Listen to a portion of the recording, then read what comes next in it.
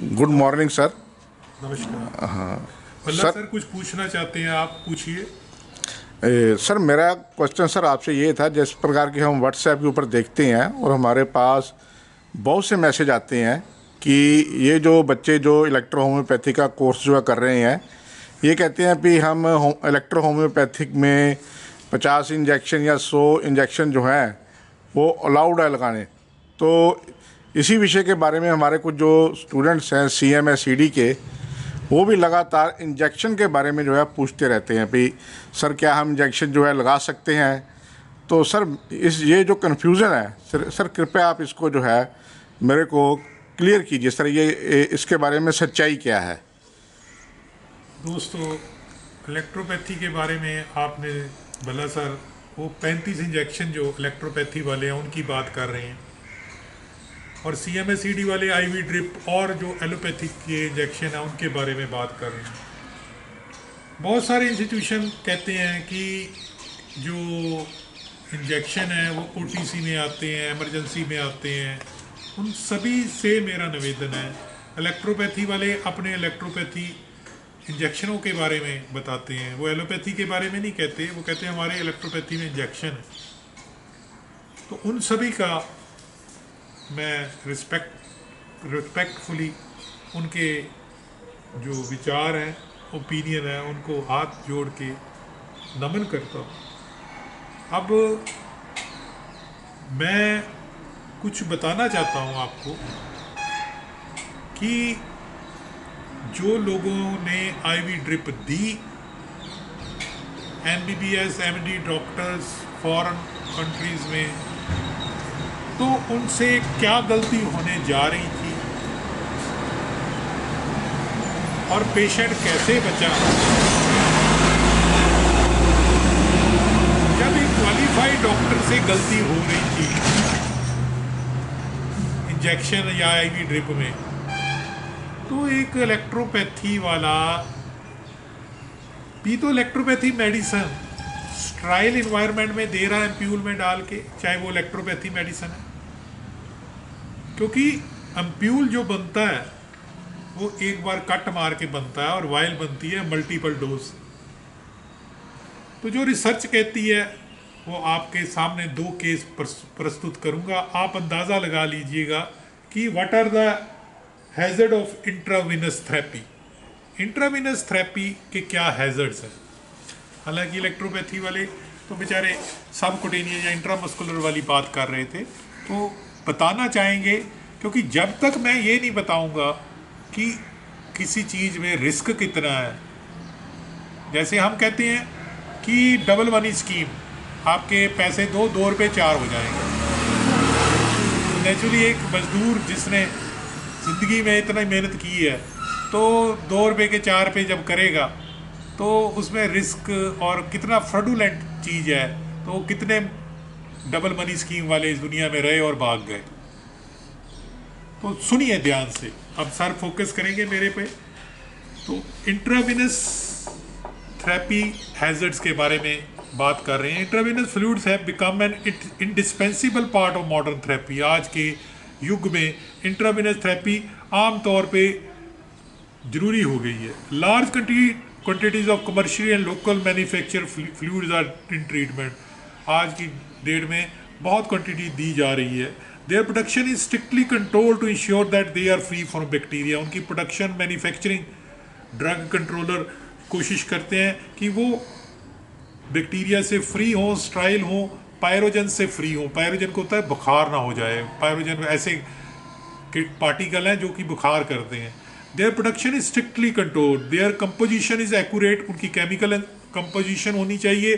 British pharmacopoeia या Indian pharmacopoeia या USP के मुताबिक।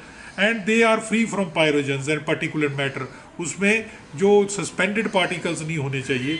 Rarity of accident due to the use of internal fluid proof of adequacy of this control IV से बहुत कम injection जो है रिएक्शन करते हैं। तो ये शो करता है कि क्वालिटी कंट्रोल बहुत ज़्यादा है। But there is reason to fear मगर डरने की बात है।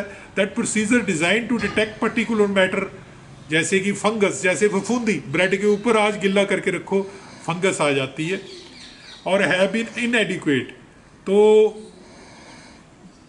ऐसे मेथड जो कि फंगस को डिटेक्ट करते हो, एम्प्यूल में बहुत इनएडिक्वेट है।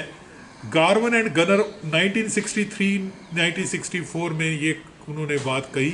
और mishap do occur accident ज़रूर होते हैं however due to human error human error की वजह से बेड साइड पे। The object of this communication ये वाला जो आपको मैसेज दिया जा रहा है to draw attention to one such hazard ऐसे ही हैज़र्ड या नुकसान जो होने वाले थे, वो दोनों केसेस आपसे ले रहे हैं। एक 26 साल की लड़की थी और प्राइमी ग्रेविडिया प्रेग्नेंट थी और उसने एक हेल्दी इन्फेंट नवजात शिशु को जन्म दिया सफर्ड ए पोस्टमार्टम हेमरेज तो उसको डिलीवरी के बाद हेमरेज ब्लीडिंग हुई। लगभग 1100 सौ एम एल दो pints and intravenous infusion IV infusion qualified doctor ने दी ग्लूकोज सलाइन में। आफ्टर अप्रॉक्सीमेटली 200 सौ एम एल जब 200 सौ एम एल फ्लूड जा चुका था it was notice that bottle was cracked अब उसके बाद देखा गया क्वालिफाइड डॉक्टर या नर्स द्वारा कि बोतल क्रैक थी आईवी वाली and fluid contain the clumps of green fungus तो उसमें ग्रीन फंगस फफूदी थी। सब्सिक्वेंटली उसको कल्चर किया गया। और ट्राइकोडर्मा नामक फंगस मिला, क्योंकि बहुत सारी हैं पेंसिलियम भी है, और तो उसमें ट्राइकोडर्मा स्पीसीज मिला। The drip was immediately stop drip stop कर दी गई, और ऑन और उसको हॉस्पिटल में एडमिट किया गया ऑब्जर्वेशन और ट्रीटमेंट के लिए। On arrival her general condition was no शुरू में उसकी जनरल कंडीशन अलार्म वाली नहीं थी। एग्जामिनेशन किया गया, उसका टेम्परेचर 97 डिग्री फार था। पल्स रेट 140 पर मिनट आई बीपी 140 ओवर 100 था। Her chest and heart sound was normal उसके दिल की आवाज़ और चेस्ट की आवाज़ नॉर्मल थी। नो एबनॉर्मलिटीज वर फाउंड कोई भी पेट में एग्जामिनेशन में गड़बड़ नहीं पाएगी। ब्लड कल्चर लिया गया, क्योंकि ऐसे केस में जब आपने फफूंदी इंजेक्ट कर दी, अगर आपने फंगस वाला आईवी ड्रिप दे दिया तो ब्लड कल्चर होगा। ब्लड कल्चर की रिपोर्ट आई तो ट्राइकोडर्मा स्पीसीज तीन डे के बाद कल्चर में आया रूम टेम्परेचर पे। हर वाइट ब्लड काउंट उसकी टीएलसी जिसको टो, टोटल लिकोसाइड कहते हैं वो आई छब्बीस हज़ार पर माइक्रोलीटर और छियानवे percent ninety six percent polymorph यानी कि न्यूट्रोफिल्स आए जिसका साफ़ सिद्धा कि क्यूट इन्फेक्शन हुआ। It was decided to treat her initially शुरू में डॉक्टर ने डिसाइड किया 24 फोर आवर्स की एम्फोट्रेसिन बी नामक फंगी जोन उसको दी जाए। यहाँ पे मैं कहता हूँ, ये एजुकेशन के लिए वीडियो है डिस्क्लेमर है कि आप कतई भी हमारी वीडियो का प्रयोग नहीं करेंगे क्लिनिशियन के लिए आप अपने क्लिनिशियन क्वालिफाइड डॉक्टर को संबंध करें। ये एजुकेशनल वीडियो है pharmacology at a dosage of point पच्चीस मिलीग्राम पर के जी क्योंकि एम्फोट्रेसिन भी फंगी है। तो पॉइंट पच्चीस मिलीग्राम पर के जी बॉडी वेट के पर डे के हिसाब से स्लो ड्रिप पाँच परसेंट डेक्सट्रोज में चला दी गई। और she was treated with ampicillin उसको एम्फिसलिन दी गई 250 मिलीग्राम इसके अलावा सिक्स आवरली और next day her temperature was उस, अगले दिन टेम्परेचर 100 डिग्री था। And she complained of feeling feverish हाइटक हुआ, उसकी बॉडी में पेन हुआ फ़िज़िकल एग्जामिनेशन रिवील्ड नथिंग कुछ नहीं आया। और administration of drug was stop but ampicillin therapy was continue ampicillin further week चलती रही. 24 four hours later she was afebrile afebrile का मतलब है उसका बुखार चला गया and she felt much better her blood count उसका ब्लड काउंट नीचे आ गया. Seventy six hundred per microlitre आ गया, और जो मॉलीमॉर्फ थे न्यूट्रोफिल जब डी कराया तो सिक्सटी एट परसेंट आए. हर ब्लड यूरिया क्योंकि किडनी पे भी असर होता है फंगस का 24 मिलीग्राम पर हंड्रेड एम आया और उसका liver function test H normal आए। उसका थोड़ा सा एच जी ओ और हर serum bilirubin was 0.3 milligram per 100 M अब देख लीजिए आप सीरम बिलीरुबिन पॉइंट तीन यानी कि लीवर पे भी इफ़ेक्ट हुआ। Alkaline phosphatase 16.8 K A unit आया। थाइमोल टर्बिडिटी तीन यूनिट आया। जिंक टर्बिडिटी तीन यूनिट आया। Second blood culture taken after the administration amphotericin B remains trial जब दोबारा कल्चर लिया गया उसके ब्लड का तो उसमें कोई ग्रोथ नहीं आई। बंदा ठीक। She was discharged home and was remain well ये केस वन था बचाया गया। फंगस की वजह से। फंगस कौन सा था? ट्राइकोडर्मा आपको ट्राइकोडर्मा की एंड में वीडियो में दिखाएँगे ma'am thirty nine year old women एक और आई। उसको एडमिट किया गया। लंबो सैक्रल स्पाइन की फ्यूजन थी यहाँ पे। उसके मन के जुड़े हुए थे।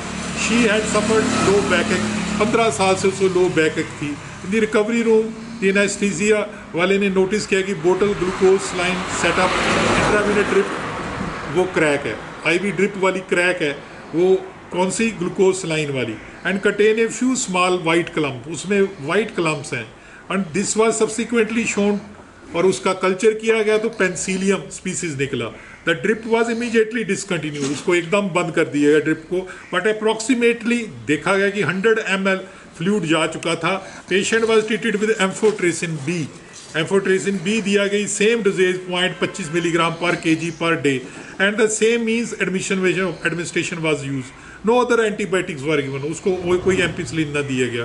ब्लड कल्चर लिया गया। Therapy commenced fail to grow the fungus जब दोबारा उसका ब्लड कल्चर किया गया तो उस, वो स्ट्राइल लिया गया। Next day the patient fell well apart उसको लेग्स में थोड़ा सा पेन था टेम्परेचर 99.6 था, और ब्लड यूरिया 40 था।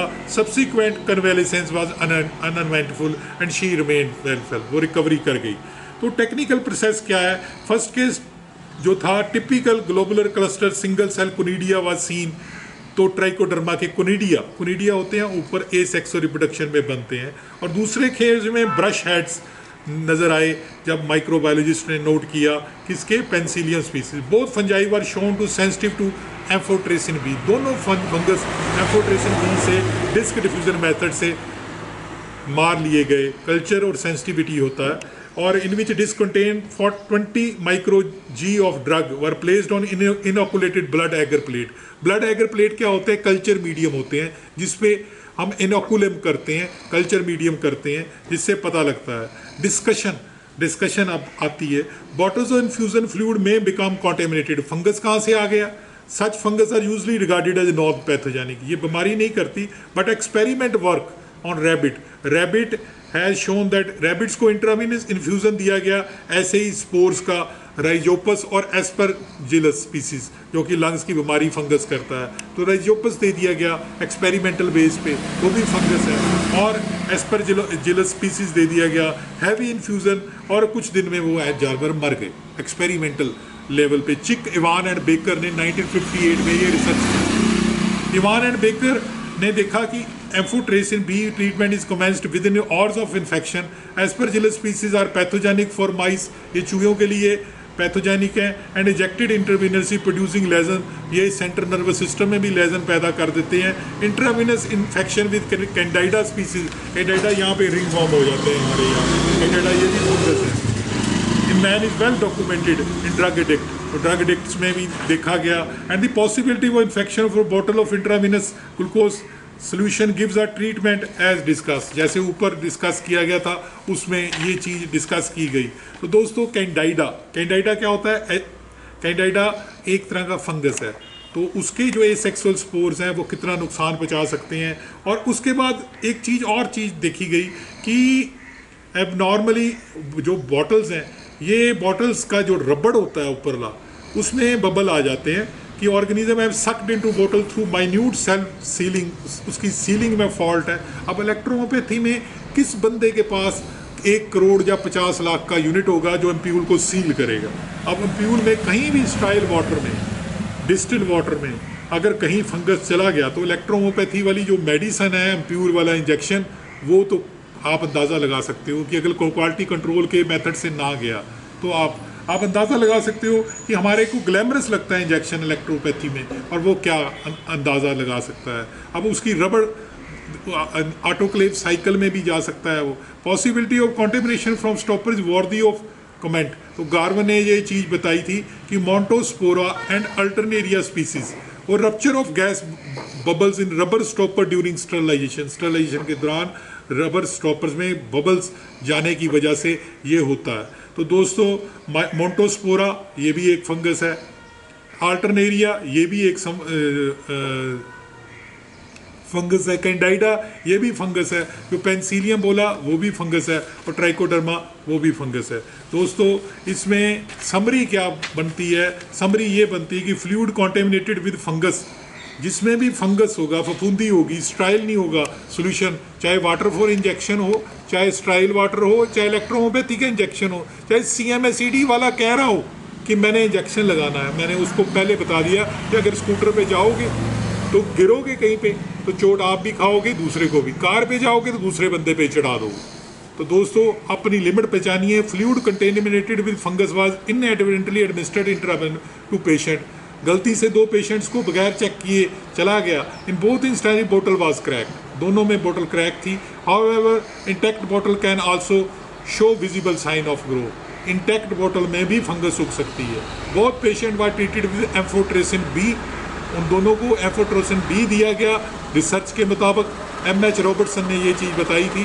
There was completely recovery is that आठ बोटल यूज़ फॉर सभी इंट्राविनस थेरेपी में दिए जाने वाली बॉटल्स को इंस्पेक्ट करना चाहिए। चाहे वो बॉटल है, चाहे प्यूल है, चाहे वायल है।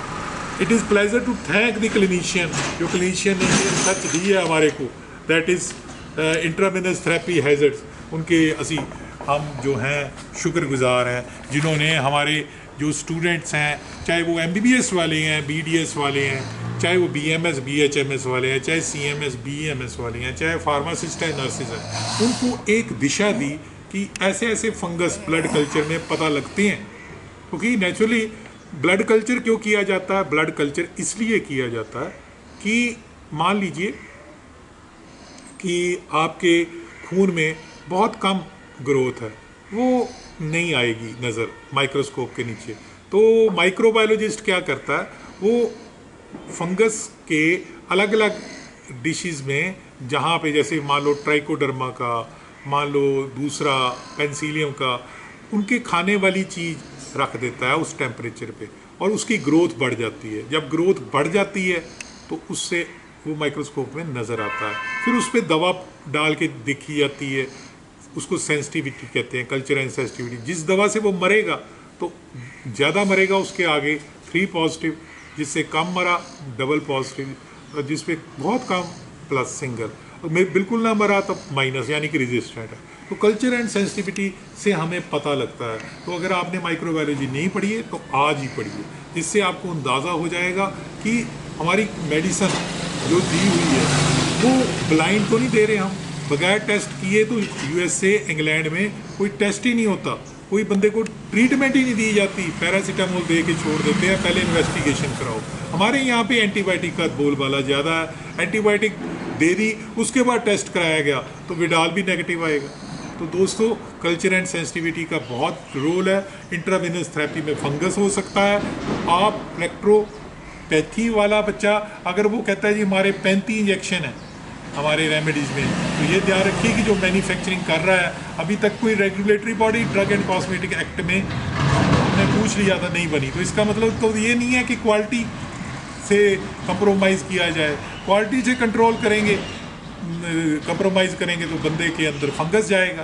फंगस चाहे मसल में गया, चाहे इंट्राविनस में गया गया तो गया। तो पायरोजेंस तो गया तो इसका मतलब किसी ज़िंदगी से तो नहीं खिलवाड़ कर सकते। तो हमें इस चीज़ पे भी मैं आगे वीडियो बनाऊँगा कि जो एम